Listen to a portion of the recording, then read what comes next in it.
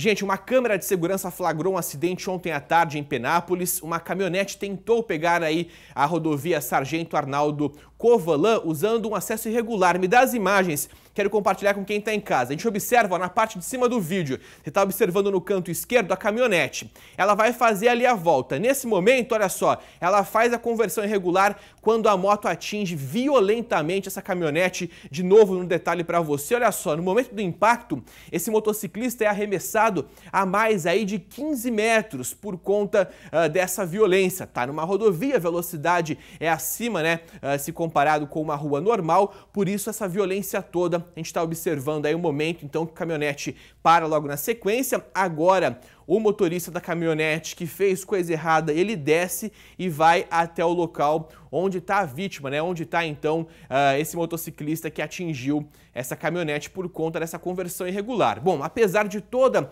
essa cena fortíssima que nós trouxemos agora, o motociclista teve apenas ferimentos leves, hein? Um livramento realmente. Polícia Rodoviária não informou o que aconteceu com o motorista nesse caso.